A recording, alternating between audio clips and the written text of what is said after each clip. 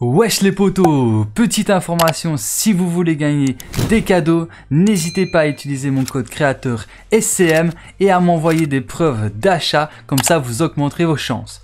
Et sur ce, je vous souhaite à tous une bonne vidéo, let's go Wesh les potos, bienvenue sur ma chaîne YouTube, c'est Swakoulou Mike et dans cette vidéo je vais vous présenter les skins qui seront disponibles sur la saison 4 de Fortnite. Alors ils seront peut-être pas tous disponibles dans le pass de combat, mais il y en aura certains dans le pass de combat et sûrement que les autres apparaîtront dans la boutique. Alors comme vous le savez déjà, Fortnite a fait un partenariat avec Marvel, donc c'est obligé, nous allons avoir des skins Marvel pour la saison 4 de Fortnite. Alors comme vous le savez peut-être déjà, comme j'ai déjà fait une vidéo là-dessus, il y a déjà eu le marteau de Thor qui est apparu sur la map de Fortnite. Donc depuis la faille, il y a une faille dans le ciel sur Fortnite. Et il y a même 6 runes qui viennent d'apparaître sur Fortnite parce que bah, tout simplement Thor a demandé de l'aide à la gardienne d'Asgard pour euh, justement protéger euh, le monde de Fortnite contre Galactus, le mangeur des mondes.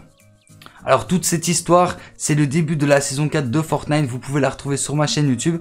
C'est sur la vidéo où j'ai mis toute la BD de Fortnite Marvel en français de la saison 4. Donc n'hésitez pas à aller la voir si vous l'avez pas encore vue. Elle raconte le début de l'histoire de la saison 4 de Fortnite. Alors à la fin de cette BD, on voit tous les super-héros qui ont été envoyés sur Fortnite pour aider Thor à défendre euh, Fortnite contre Galactus le mangeur des mondes.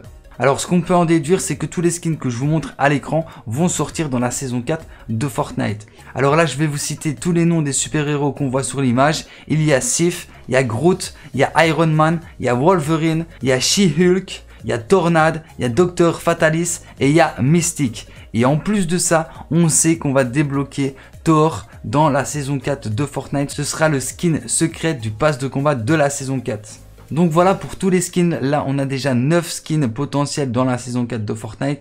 Je suis sûr à 100% qu'ils vont tous sortir. Donc voilà, moi personnellement je trouve que c'est une très bonne idée les collaborations que Fortnite font avec d'autres marques. Donc euh, il y a beaucoup d'entre vous qui n'aiment pas ce genre de collaboration. Moi je trouve que c'est un plus, surtout pour les fans de Marvel, ben ils vont pouvoir incarner leur skin euh, préféré dans Fortnite. Donc ça c'est quand même cool pour eux. Pour ceux qui n'aiment pas Marvel, ben là ben, je suis désolé pour vous, c'est pas votre saison. Peut-être la prochaine saison sera faite pour vous. En tous les cas, n'hésitez pas à me dire ce que vous en pensez euh, des skins Marvel qui vont arriver dans la saison 4 de Fortnite. Et surtout, dites-moi lequel de tous ces skins est votre préféré. En tous les cas, moi, mon préféré, c'est Groot. Parce que ben voilà, j'ai toujours kiffé Groot dans le film Gardien de la Galaxie. C'est vraiment un personnage que j'ai surkiffé. Donc voilà, je pense que Groot, euh, c'est mon préféré. J'espère qu'il sera dans le pass de combat. Donc n'hésitez pas à me dire lequel de ces skins vous vous préférez. Et voilà qui termine cette vidéo d'information. J'espère qu'elle vous aura plu. Si c'est le cas, n'hésitez pas à liker, à partager et à vous abonner si ce n'est pas encore déjà fait. Et sur ce, moi je vous dis à très bientôt pour plus de vidéos. C'était soit cool mec et ciao. Peace.